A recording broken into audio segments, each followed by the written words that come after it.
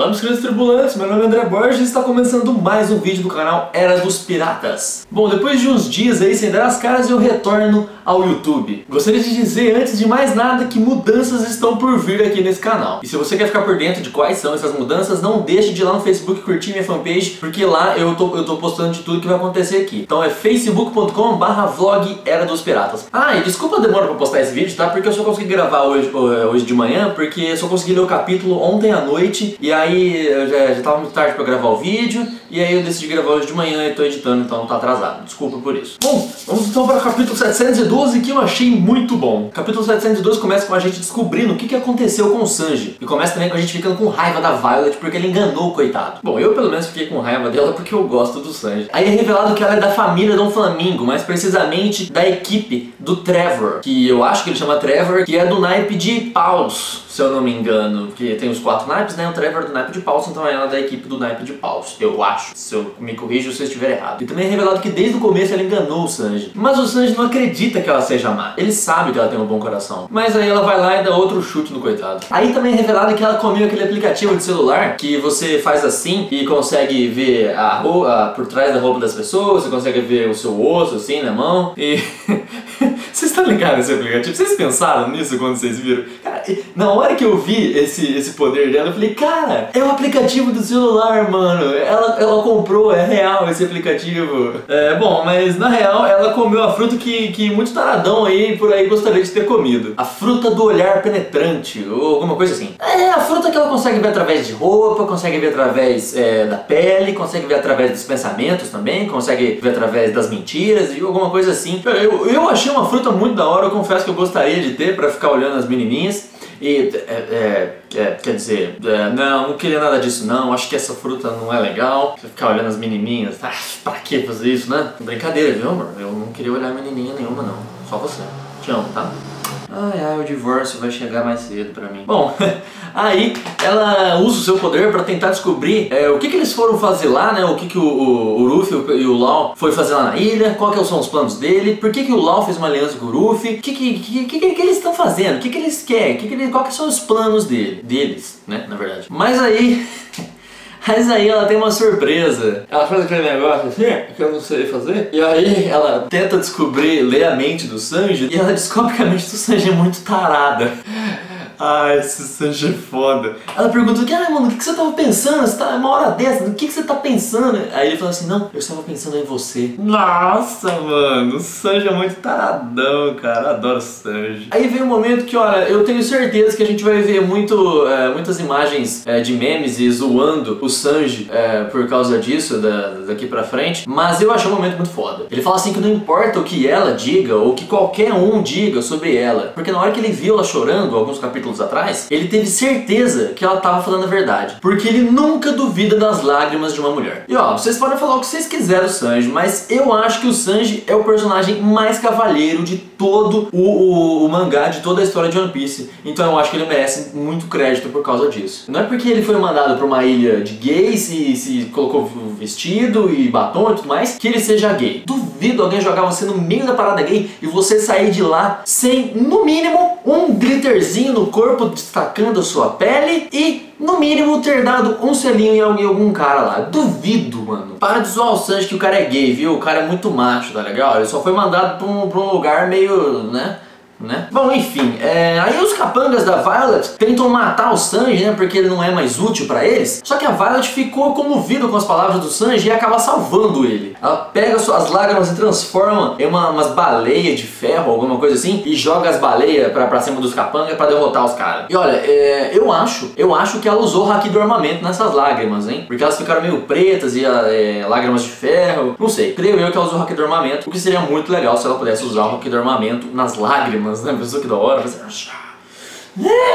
Enfim, ia ser muito da hora se ela tivesse usado o hack do armamento. Aí galera, a gente tem um momento que eu acho que ninguém deu muita importância, além de mim, é, mas o Sanji chama ela para fazer parte do bando. E eu fiquei tentando lembrar é, se teve algum momento que algum dos tripulantes, que não seja o Luffy, chamou alguém para fazer parte do bando. Se você lembra de alguém que chamou, o Sop chamou alguém, sei lá, para fazer parte do bando, fala pra mim aqui nos comentários porque eu não lembro. E eu fiquei pensando também que se ela aceitasse ia ser legal, porque eu acho que o Sanji ia ter uma namoradinha se ela aceitasse entrar pro, pro bando, né? A menos que já pensou que legal, é, eles têm meio um caso, ela chega no, no, no bando e ela acaba gostando mais do Zoro. Pensou que da hora?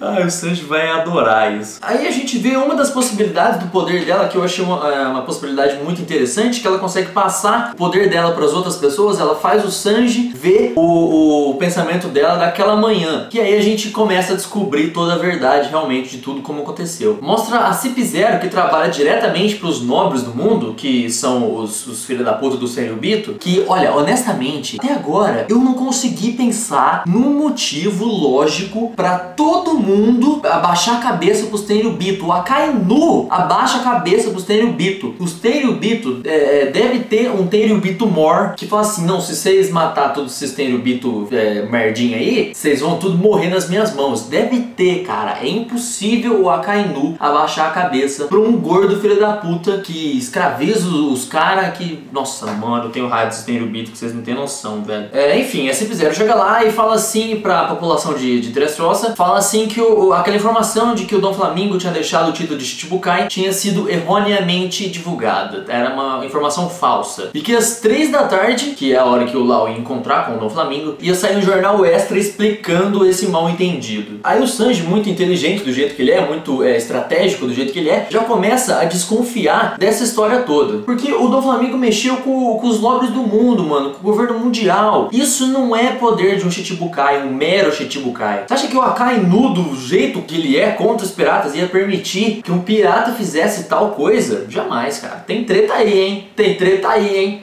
Tem treta. Bom, aí depois disso, o Violet é, fala pro Sanji ligar pro Law, contar toda a verdade e a gente já sabe o que acontece depois disso. Aí a gente começa a desconfiar mais ainda dessa história toda do Dom Flamingo, porque mostra o, aquele almirante ceguinho, que eu esqueci o nome, é Fugitora. Lembrei? Fugitora! Eu acho que é Fugitora, não sei. Enfim, mostra o almirante ceguinho, que é o Fugitora, eu acho, é, conversando no, no... eu falando no celular.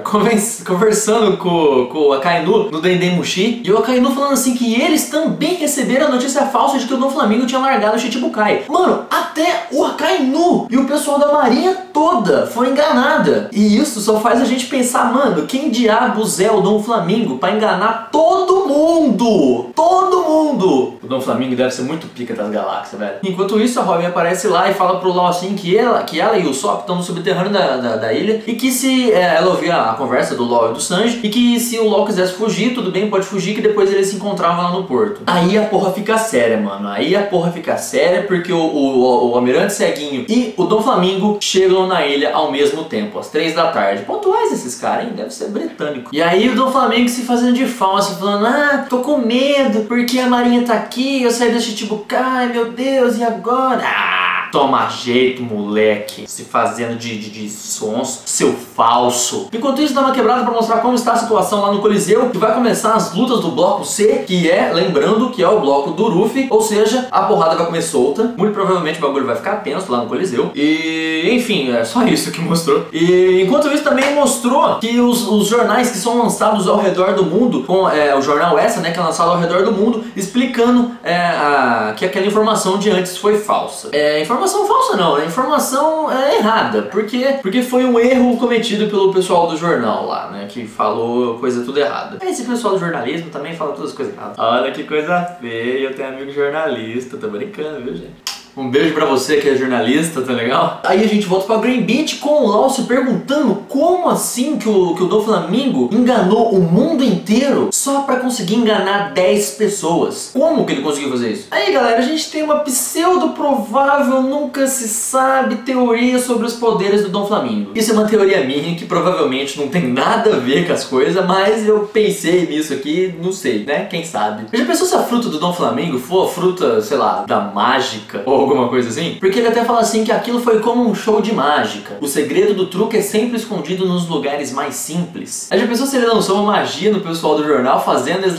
fazendo eles lançarem uma informação falsa? Já pensou que da hora ia ser? Mas eu acho que a galera toda vai falar que ele tem alguma ligação com os Tenryubitos. É, eu também acho. Pra falar a verdade, eu acho mais que ele tem uma ligação com os Tenryubito do que ele tem uma, uma nome da magia. Eu só achei que ia ser legal. O Flamengo talvez seja filho de algum Tenryubito, o Dom Flamengo talvez seja um Tenryubito, talvez seja o chefe do Tenryubito, não sei. Eu acho que não, porque se ele fosse o chefe do Tenryubito, ele seria o cara mais foda de todo o mundo. O que ele não é, eu acho, eu espero. Ia ter dado muito mais importância pro Dom Flamingo até agora, se ele fosse o cara mais foda de todo mundo. A gente tem essa ideia de que ele talvez esteja ligado com o Tenryubito, porque o LoL fala assim que, único, que os únicos no mundo que tem o poder é, para fazer o que ele fez, de enganar todo mundo, só pra enganar 10 pessoas, é, os únicos que tem é, é, esse, esse poder político são os Tenryubito. Aí o LoL também lembra de quando o Vergo falou para ele assim, que a ruína dele seria ele não saber o passado do Dom Flamingo. E o Dom Flamingo também falou assim que a história dele é muito mais profunda do que o LoL imagina. É, bom, com esse mistério todo sobre o passado do Dom Flamingo, termina o capítulo 712 e eu espero muito que logo, logo, muito logo, no capítulo que vem, por favor, mostre e explique o passado do Dom Flamingo. Eu acho que não vai ser tão fácil assim que vai mostrar o passado dele, mas tomara que seja logo que mostre o que diabos é o Dom Flamingo. Quem diabos é o Dom Flamingo? Se ele é um Tenubito, se ele é um filho do Tenubito, ou se ele é apenas é o assessor de imprensa dos Tenubito. É, eu acho que eu e muita gente, né? Eu acho que todo mundo tá querendo saber qual é esse passado do Dom Flamingo que é, ultimamente está se tornando um dos passados mais sombrios e mais confusos ao mesmo tempo, né? De, de todo a série. Eu acho que no momento presente eu quero saber mais do passado do Dom Flamingo do que o que aconteceu com o Sabo. Que o Sabo não é o Dom Flamingo. Pelo amor de Deus, nunca pensem nisso. Aí vai semana que vem e mostra que realmente o Dom Flamingo é o Sabo. Já pensou que tapa na cara da sociedade?